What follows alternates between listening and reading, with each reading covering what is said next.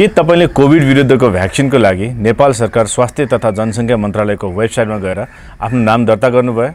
यदि छैन भने आजै भिएसिसिआइएनए dot MOHP dot gov dot एनपीमा गई आफ्नो नाम दर्ता गर्नुहोस् र खोप कार्यक्रमलाई व्यवस्थित गर्न मद्दत गर्नुहोस्। नछुटौ खोप लगाउन नभुलौ नाम दर्ता गर्न।